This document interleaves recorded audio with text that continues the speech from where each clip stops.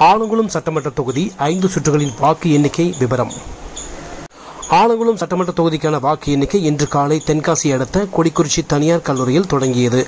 ஆலங்குளம் தொகுதியில் முதலில் தபால் வாக்குகள் எண்ணப்பட்டது. இதைத் தொடர்ந்து மின்னணு வாக்குப்பதிவு இயந்திரத்தில் பதிவான வாக்குகள் எண்ணும் பணி நடைபெற்றது. முதல் ஐந்து சுற்றுகளின் விவரங்களை தற்போது பார்க்கலாம்.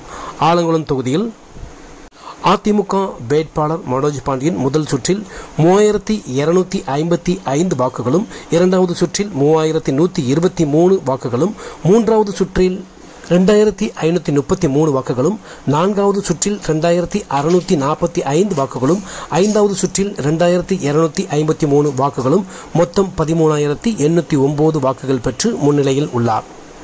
திமுக வேட்பாளர் டாக்டர் பூங்கோதை ஆலடியர்னா முதல் சுற்றில் ரெண்டாயிரத்தி முன்னூத்தி முப்பத்தி ஒன்று வாக்குகளும் இரண்டாவது சுற்றில் ரெண்டாயிரத்தி அறுநூத்தி முப்பத்தி மூணு வாக்குகளும் மூன்றாவது சுற்றில் ரெண்டாயிரத்தி ஐநூத்தி முப்பத்தி ஆறு வாக்குகளும் நான்காவது சுற்றில் ரெண்டாயிரத்தி எழுநூத்தி இருபத்தைந்து வாக்குகளும் ஐந்தாவது சுற்றில் ஆயிரத்தி தொள்ளாயிரத்தி பதினேழு வாக்குகளும் மொத்தம் பனிரெண்டாயிரத்தி நூற்றி நாற்பத்தி ரெண்டு வாக்குகள் பெற்று மூன்றாவது இடத்திலும் சுயேட்சை வேட்பாளராக போட்டியிட்ட பனங்காட்டு படைக்கட்சி ஒருங்கிணைப்பாளர் ஹரி நடார் முதல் சுற்றில் ஆயிரத்தி இருநூத்தி அறுபத்தி எட்டு வாக்குகளும் இரண்டாவது சுற்றில் ரெண்டாயிரத்தி எழுநூத்தி பத்து வாக்குகளும் மூன்றாவது சுற்றில் மூவாயிரத்தி தொண்ணூத்தி எட்டு வாக்குகளும் நான்காவது சுற்றில் ரெண்டாயிரத்தி முன்னூத்தி தொண்ணூத்தி மூணு வாக்குகளும் ஐந்தாவது சுற்றில் மூவாயிரத்தி நாற்பத்தி ஒன்பது வாக்குகளும் பெற்று மொத்தம் பனிரெண்டாயிரத்தி ஐநூத்தி பதினெட்டு வாக்குகள் பெற்று இரண்டாவது இடத்தில் உள்ளார்.